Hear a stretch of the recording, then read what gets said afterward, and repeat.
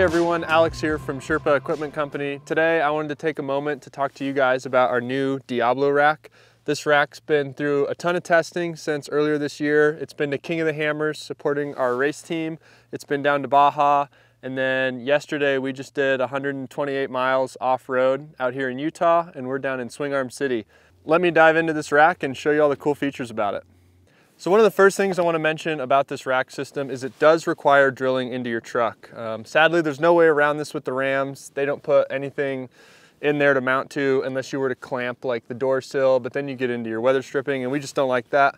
So we try to make it really easy with our drill racks. We use our billet rivet adapters, which require two 3 16 holes per mount to be drilled into the cab and then you install a 3 16 pop rivet. Um, we recommend that you get a rivet tool if you want to do this yourself. Uh, we use the Milwaukee electronic rivet tool. It works incredible. Um, but if you're uncomfortable with drilling and all of that, we recommend that you just get this rack professionally installed. Uh, we have a lot of shops around the country that'd be happy to do it for you. And we also do it in our shop in Berthoud, Colorado. So if that's of interest to you, awesome.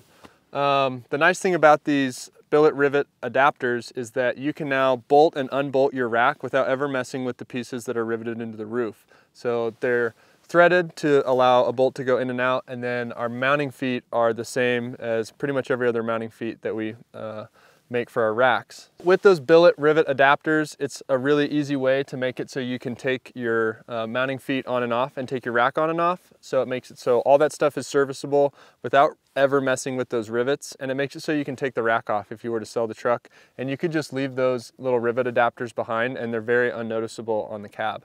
Um, so let me dive into the rack itself. So one of the first questions you might have about this rack is how much weight can it handle? This rack can handle 300 pounds dynamic load. So that's uh, 300 pounds of a rooftop tent riding down the highway, um, of gear, bouncing down the trail, whatever it may be.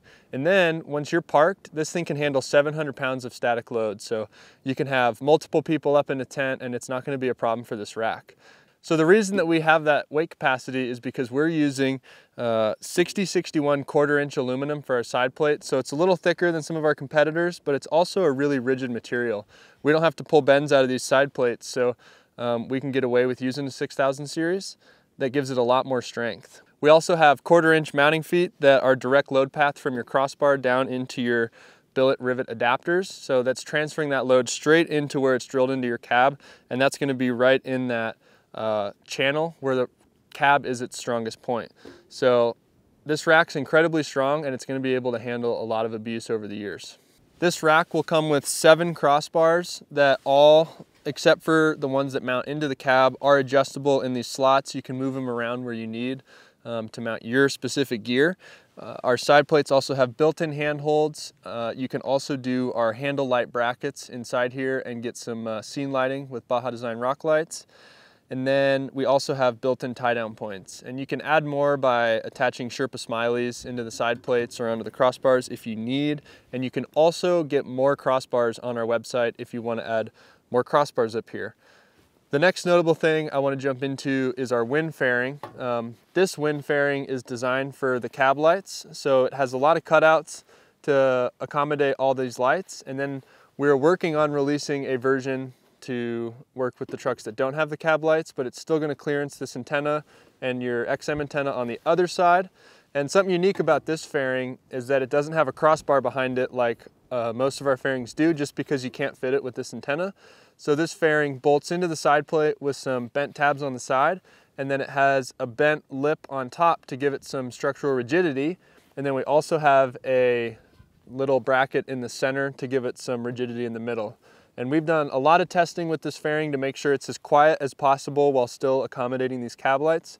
It does make a little bit more noise than our normal racks, but all things considered, and especially with these 5th gen Rams, with the sound deadening that they have, it's still a very, very quiet setup. Even with these four MAXTRAX up here, it's pretty much unnoticeable, especially once you get into adding bigger tires and lights and those kind of things on your truck. So definitely not something you need to be worrying about.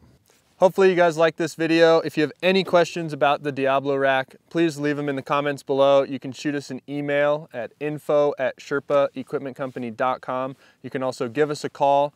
And yeah, hopefully you guys liked it. Like, comment, subscribe.